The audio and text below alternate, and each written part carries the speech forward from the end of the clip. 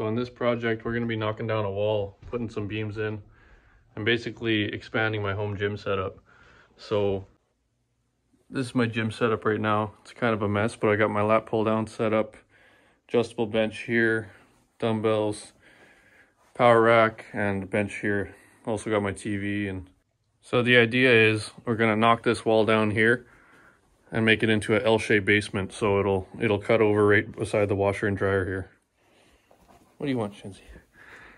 So this is the unused space back here that I want to put a hack squat machine and some other stuff. So I'm gonna knock that down, put a couple beams in because of this. Got this supporting here right now and I got one here. So I'm gonna cut the main beam out, put a, a six inch I-beam in there, and then I'm gonna put a four inch I-beam here so I can retain the headroom. So yeah, so I got a couple pieces of four inch and six inch I-beams, but they're too short so I gotta extend them. So that's what we're gonna start with. So this is what we're working with. We got this piece of four inch I-beam. It's about four feet. One piece there that's about four feet and one piece there that's about four feet. So unfortunately, you gotta weld three of them together and then cut it down. And then this is the piece of six inch I got. It's nine feet long, of course. So got to cut some off of this one and weld it on there.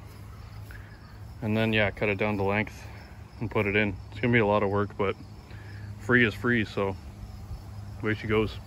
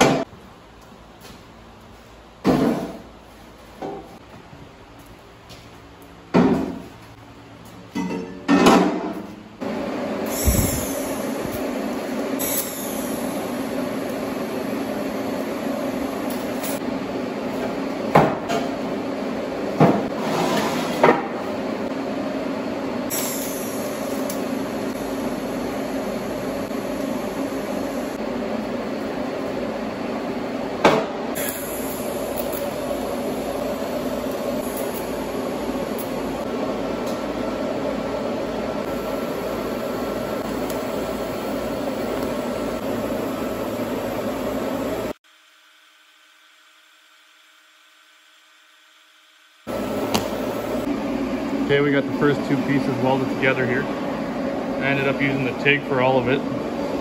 This machine does real good on the thick stuff, especially with that water cooler. So now we are gonna put this last piece on and then we'll go from there.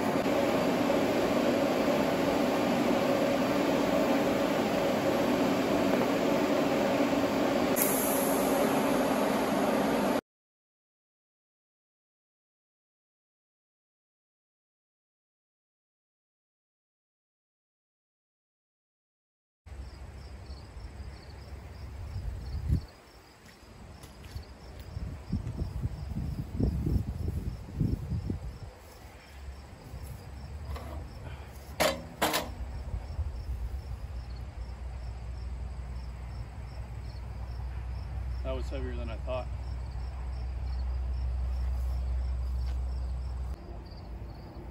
All right, now it's time to get this thing buffed off and painted.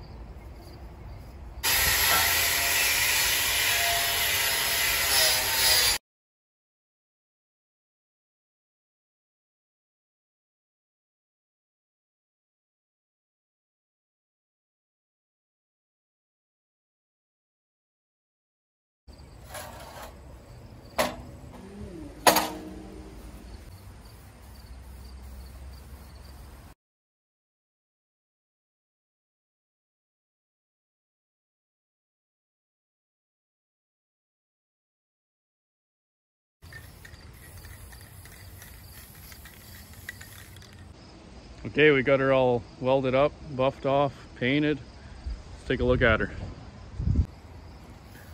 So I only had one can of paint left.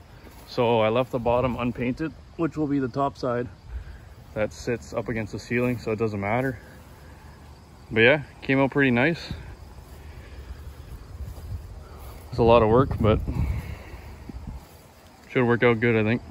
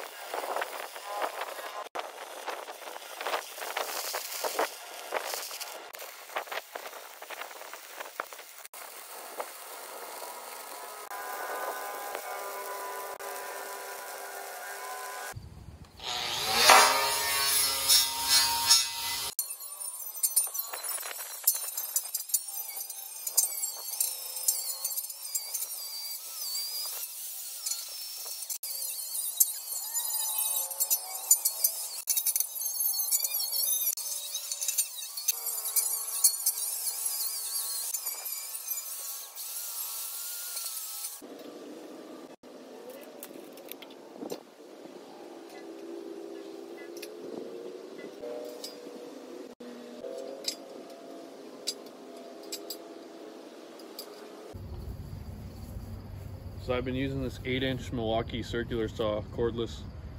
This thing works awesome, especially for stuff like this. The only thing is it's loud as hell. But it beats using a grinder or plasma, you know. Nice straight cuts, fast. Good stuff.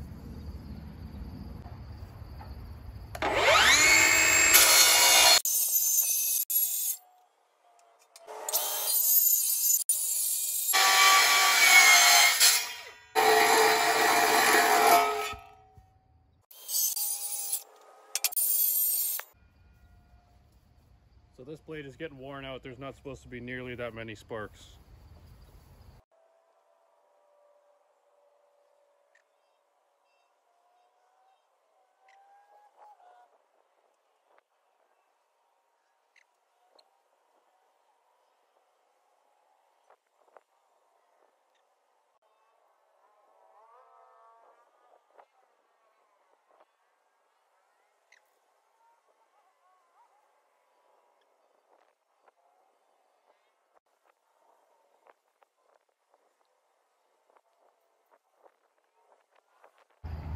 Okay, so these ones are all complete. Got three of them spliced together here. And I got this little foot and a half section on this one. So now we're gonna move on to the basement portion of it.